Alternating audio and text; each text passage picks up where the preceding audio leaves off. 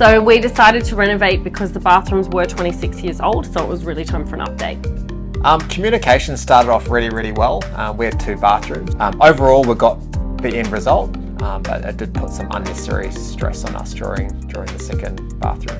Uh, we chose Esteem mainly because of their reviews, uh, but when they came in to do a quote, um, they had really great attention to detail, um, and we really liked that from competitors um, with a reasonable price for what they were giving as well.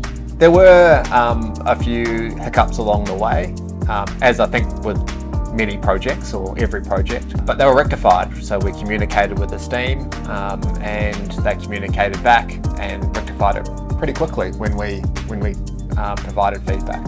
Um, look, our end product we're really really happy with. We love the, the, the new look for each of our bathrooms. Our kids are really excited to get into our new one and, and start using that too. So we were really really happy with the quality of the work by the end. So from the quality and the outcome kind of side of things, we would definitely recommend Esteem to our friends and family. However, we probably do have one sort of consideration to make.